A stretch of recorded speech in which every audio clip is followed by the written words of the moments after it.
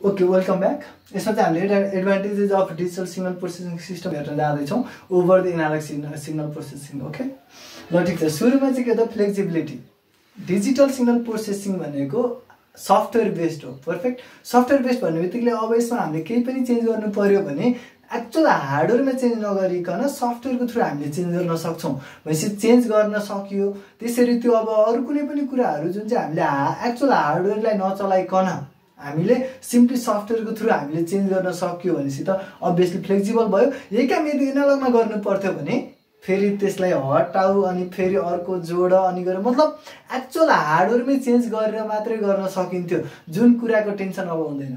अर्को accuracy digital signal प्रोसेसिङमा हामीले एनालगबाट डिजिटलमा लिएर आयौँ। त्यो चिजबाट सिग्नलको एक्युरेसीलाई हामीले केले रिप्रेजेन्ट केले केले चाहिँ डिटर्माइन गर्छ त भन्दै गर्दाखेरि त्यो युज गर्नको लागि जुन हामीले बिट्स युज गऱ्यौँ त्यसलाई स्टोरेज गर्नको लागि बिट्स युज गऱ्यौँ त्यो बिट्सले रिप्रेजेन्ट गर्छ। अनि गएर हामीले त्यो त्यो त्यसको एक्युरेसीलाई त्यसको resolution of digital signal processor जुन चाहिँ हामीले युज गर्छौँ त्यसको रिजोल्युसनले उसको डिटरमाइन गर्छ जसलाई चाहिँ हामीले नम्बर अफ बिट्स बढाएरै कन्ट्रोल गर्न सकिन्छ भनेपछि एक्युरेसी पनि मोर एक्युरेट गराउन सकियो। अर्को भनेको easy storage obviously digital signal processing digital सिग्नलहरू जुन डिजिटल फर्ममा छन् तिनीहरूलाई हामीले इजिली स्टोरेज गर्न सकिन्छ। म्याग्नेटिक डिस्क र म्याग्नेटिक टेप्सहरूमा र अनि इजिली रिटाइप पनि गर्न सकिन्छ इजिली रिड राइट गर्न सकिन्छ। त्यसले गर्दा इजी स्टोरेज भयो इजी ट्रान्सपोर्टेसन पनि भयो। म्याथमेटिकल प्रोसेसिङ म्याथमेटिकल अपरेसन्सहरू जुन चाहिँ कम्प्लेक्स अल्गोरिदमहरू छ कम्प्लेक्स अपरेसनहरू छ तिनीहरू पनि इजिली डिजिटल सिग्नलमा चाहिँ एनालग सिग्नलमा भन्दा पनि सजिलैसँग डिजिटल सिग्नलमा चाहिँ एप्लाई गर्न सकिन्छ प्रोसेस गर्न सकिन्छ पर्फेक्ट इम्प्लिमेन्ट गर्न सकिन्छ र अनि रुटिनली अपडेटेड पनि गरिराख्न सकिन्छ. Adaptability digital signals are upgradables तिनीहरू सफ्टवेयर बेस्ड छन्। भनेपछि सफ्टवेयर बेस्ड हामीले पाँचजनाको लागि गर्ने काम लुप चलाएर सयजनालाई गर्न पनि सकिन्छ सजिलै सकिन्छ भने जस्तै तिनीहरू चाहिँ इजिली अपग्रेडेबल छन् अनि इजिली एडेप्टेबल एडेप्टेबल छन्। युनिभर्सल कम्प्याटेबिलिटी भनेको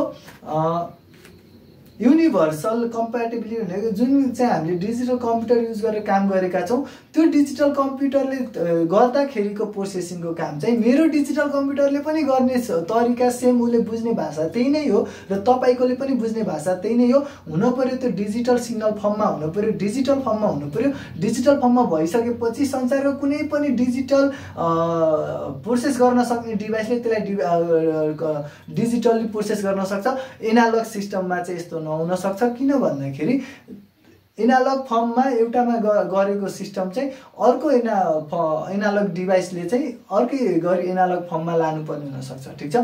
यसरी युनिभर्सल कम्प्याटेबिलिटी डिजिटल कम्प्युटरको थ्रु हुने भए भएर र डिजिटल प्रोसेस इभन डेडिकेटेड प्रोसेसरै युज गर्यो भने पनि त्यसले पनि स्ट्यान्डर्ड एडप्सन स्ट्यान्डर्ड पोलिसिजहरू युज गर्ने भएको हुनाले युनिभर्सल कम्प्याटेबिलिटी भयो डिजिटल सिग्नलमा चाहिँ। अर्को भनेको size and reliability obviously kilo bytes mega बाइट्समा storage गर्न सकिन्छ। अनि गएर रिलायबिलिटी भनेको digital signals are the reliable source अनि गएर यिनीहरू सबैको यी सम्पूर्ण कारणहरूले गर्दाखेरि यिनीहरूको लिमिटेसन्स छ। लिमिटेसन्स छ डिजिटल सिग्नल प्रोसेसिङको लिमिटेसनै नभएको होइन। लिमिटेसन छ। एउटा लिमिटेसन हो यदि एनालग सिग्नलको चाहिँ ब्यान्डविड्थ एकदमै हाई छ भने त्यतिखेर हामीले हाई एक्युरेसी अर्थात् भनौँ हाई स्पिड एडी कन्भर्टर चाहिन्छ। एडी कन्भर्टर जुन चाहिँ हामीले त्यो स्पिडको एडी कन्भर्टर चाहिँ हामीले मेन्टेन गर्न सक्दैनौँ। त्यो केसमा चाहिँ हामीलाई एनालग सिस्टम नै युज गर्नुपर्ने हुन्छ। एनालग सिग्नल फर्ममै युज गर्नुपर्ने हुन्छ। हो यो बेलामा हामीले यो कुरा चाहिँ पे गर्न अलिकति सक्दैनौँ। एउटा डिफिकल्टी यो हो। अर्को हो हाम्रो लोवर एप्लिकेसनको लागि चाहिँ यो एक्सपेन्सिभ हुन जान्छ digital signal processing lower ex lower small एप्लिकेसन्सहरूको लागि लोवर एप्लिकेसनहरूको लागि चाहिँ यो कस्टलियर हुन जान्छ एक्सपेन्सिभ हुन जान्छ। यो दुईवटा लफडा त छ नि होइन? लिमिटेसन छ नि। र पनि यसका यति धेरै कुराहरूले यस दुइटालाई हुन्छ नि सय गुणमा एक बैगुण स्वीकार्न सकिन्छ भने जस्तै छ।